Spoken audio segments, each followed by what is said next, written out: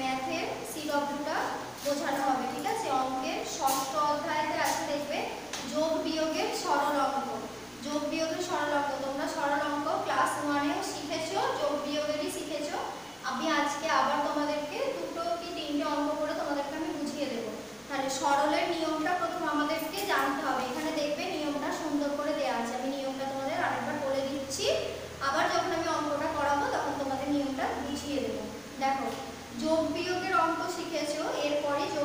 সাহায্যে সরল অঙ্ক করা শিখতে হবে। যোগ বিয়োগের সাহায্যে আমরা সরল অঙ্ক শিখব। যোগ বিয়োগের সরল অঙ্ক সমাধান করার সময় মনে রাখবে, প্রতিটি সংখ্যার আগে সেই সংখ্যার চিহ্ন থাকে, ঠিক আছে? যেমন দেখো, এখানে একটা সংখ্যা আছে। এর আগে কিন্তু কোনো চিহ্ন নেই, তোমরা দেখতে পাচ্ছ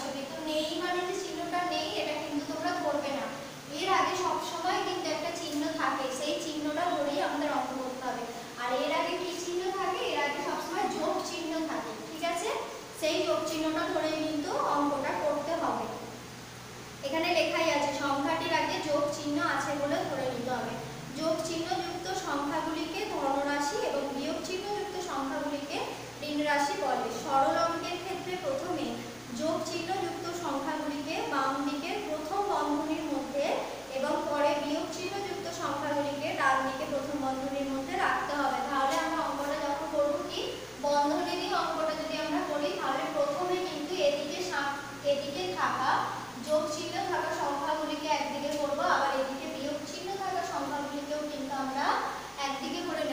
চিহ্ন হিসাবে, তার মানে সরলের প্রথম নিয়মটি হচ্ছে সরলের ক্ষেত্রে সবসময় যোগের কাজ আগে হবে, ঠিক আছে? তার মানে বিয়োগ চিহ্নগুলোকেও আমাদের যোগ চিহ্ন করে নিতে হবে।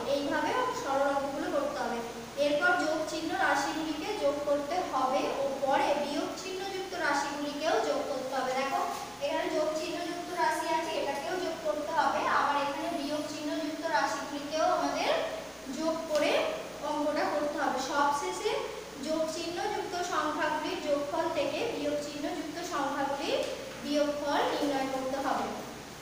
তাহলে প্রথমে দেখো আমাদের এই অঙ্কটা। প্রথমে এক এক কয়েক দাগের অঙ্কটা আমি তোমাদেরকে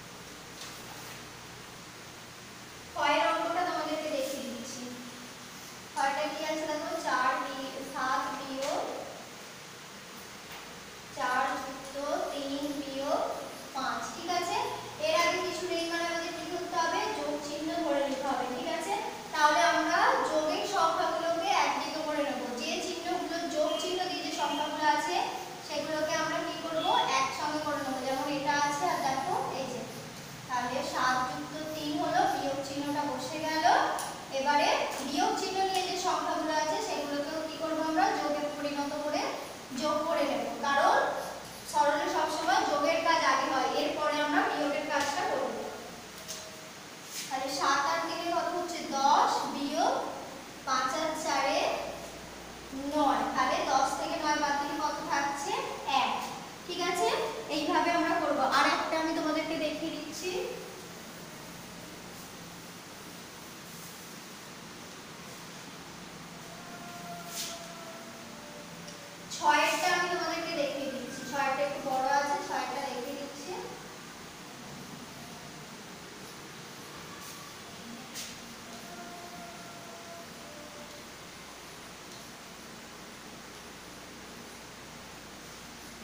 Pädagogik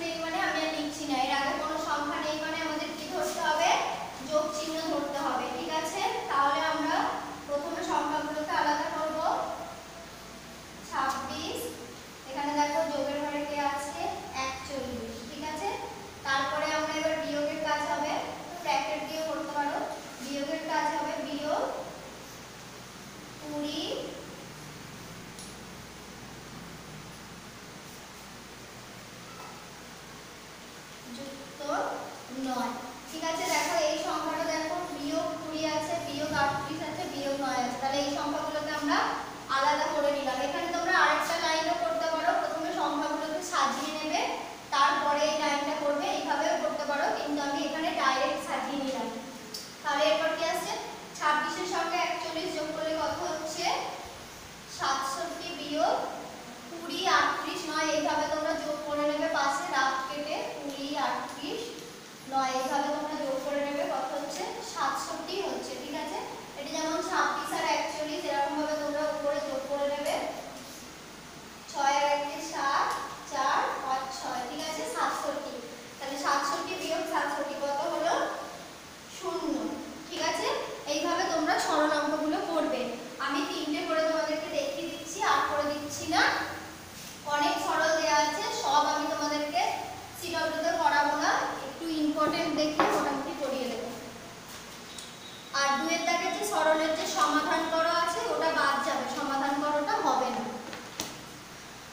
মেন্টাল ম্যাথে মেন্টাল ম্যাথে তোমাদের পঁচিশ পাতাটা দেখবে। পঁচিশ পাতায় কি আছে? Count the beads on the abacus and write the three digit number ঠিক আছে? এখানে দেখবে এটা হচ্ছে তোমাদের অ্যাবাকাসের মাধ্যমে যোগ বিয়োগটা শেখানো হয়েছে।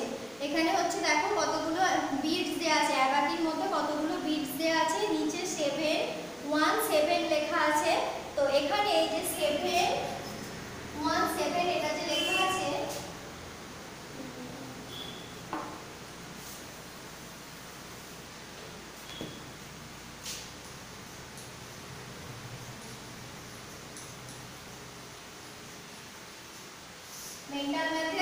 পঁচিশ পাতায়।